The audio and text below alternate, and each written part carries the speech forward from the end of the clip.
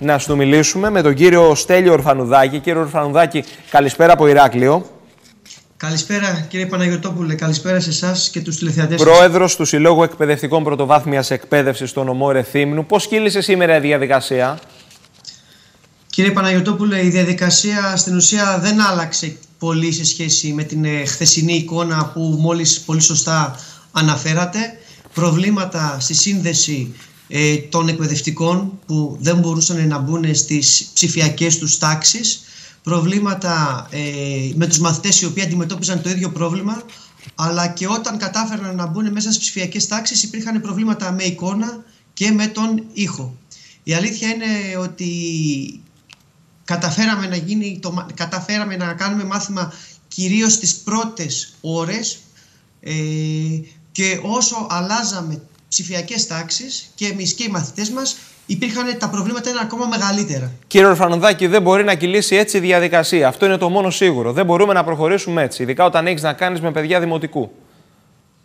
Ε, να ξεκαθαρίσουμε το εξής ότι η διαζώση διδασκαλία δεν αντικαθιστάται σε καμία περίπτωση από οποιαδήποτε εξαποστάσεως εκπαίδευση, ειδικά για αυτές τις ηλικίες, τις τρυφερές ηλικίες των μαθητών μας του νηπιαγωγείου ε, και του δημοτικού. Ο φυσικός μας χώρος είναι η σχολική τάξη, το σχολικό περιβάλλον. Εμείς ε, ζητάμε να είμαστε μέσα στις σχολικές μας τάξεις, στο φυσικό μας χώρο. Δυστυχώς αυτό που έγινε τώρα και αντιμετωπίζουμε, καλούμαστε να αντιμετωπίσουμε και για, το, και για τον υπόλοιπο, και το υπόλοιπο χρονικό διάστημα, ε, είναι εξαιτίας κάποιων ε, λαθών από πλευράς πολιτικής ηγεσίας του Υπουργείου Παιδείας, όπου δεν πήρε τα απαραίτητα μέτρα, υγειονομικά μέτρα, για την προστασία τόσο των μαθητών όσο και των εκπαιδευτικών. Εντάξει, όμως η διασπορά μέσα σε σχολικές μονάδες και ειδικά σε παιδιά δημοτικού ήταν περιορισμένη. Ναι, μην ξεχνάμε ότι μέχρι το προηγούμενο Σαββατοκύριακο που πέρασε θρυνήσαμε και τον, την πρώτη δασκάλα θύμα του κορονοϊού. Ε, και πάρα πολλούς συγγενείς εκπαιδευτικών και μαθητών οι οποίοι νόσησαν από τον κορονοϊό επειδή κόλλησαν από, από το οικογενειακό τους περιβάλλον.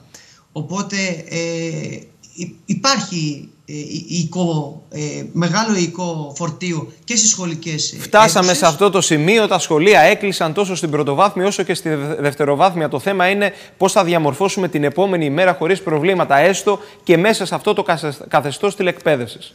Κοιτάξτε, τα προβλήματα υπάρχουν, είναι πάρα πολλά.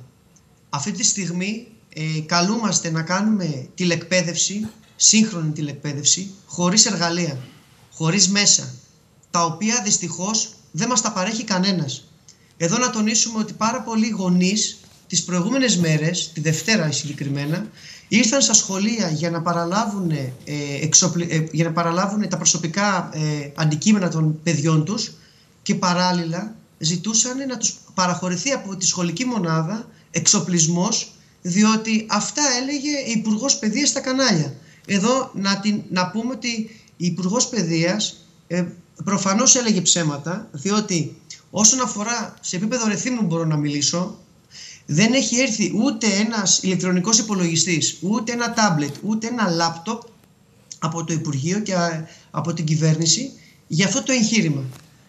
Ήδη είμαστε στη δεύτερη μέρα της ε, ε, σύγχρονης εξαποστάσεως εκπαίδευσης και ό,τι υλικά έχουμε, έχουμε είτε δανεικά, ε, ή, ό,τι εργαλεία έχουμε είναι είτε δανεικά, είτε ε, τα έχουμε, τα έχουμε, μας τα έχουν δανείσει είτε από το σχολείο είτε γνωστοί μας. Και εδώ οι συνάδελφοι εκπαιδευτικοί ε, οι οποίοι από το, δικά τους το δικό τους προσωπικό εξοπλισμό τον χρησιμοποιούν για να μπορέσουν να κάνουν Κύριε Ορφανουδάκη, οπότε πολλά παιδάκια σήμερα ε, δεν παρακολούθησαν και δεν συμμετείχαν στο διαδικτυακό αυτομάθημα. Το ότι δεν παρακολούθησαν έχει πολλές αναγνώσεις. Δεν παρακολούθησαν επειδή δεν έχουν σταθερή, σταθερό διαδίκτυο στο σπίτι τους. Δεν παρακολούθησαν επειδή δεν Μάλιστα. έχουν υπολογιστές. Δεν παρακολούθησαν επειδή δεν μπόρεσε το σύστημα και η πλατφόρμα να, τους, να, την, να υποστηρίξει όλο αυτό τον τεράστιο όγκο χιλιάδων μαθητών και εκπαιδευτικών για να μπορέσει να, το, να παρακολουθήσουν. Τα προβλήματα είναι πάρα πολλά. Και δυστυχώς, για ακόμα μια φορά, η πολιτική ηγεσία του Υπουργείου Παιδείας δεν έχει κάνει τίποτα από την αρχή της προηγούμενης πανδημίας, της ε, καραντίνας, με συγχωρείτε. Και ε, δεν έγινε μάθημα. Και ενώ λέγανε τον, τον Ιούνιο που ανοίξαν τα δημοτικά και την υπηαγωγία ότι θα είναι μια δοκιμαστική περίοδος για το δεύτερο κύμα της πανδημικής κρίσης, φάνηκε ότι το Υπουργείο ήταν απροετοίμαστο για ακόμα μια φορά. Μάλιστα. Κύριε Ορφανουδάκη, ε, τι να, ας ευχηθούμε τα πράγματα να φτιάξουν έσω στο μέτωπο της διαδικασίας της τηλεκπαίδευσης το επόμενο διάστημα και τις επόμενες ημέρες.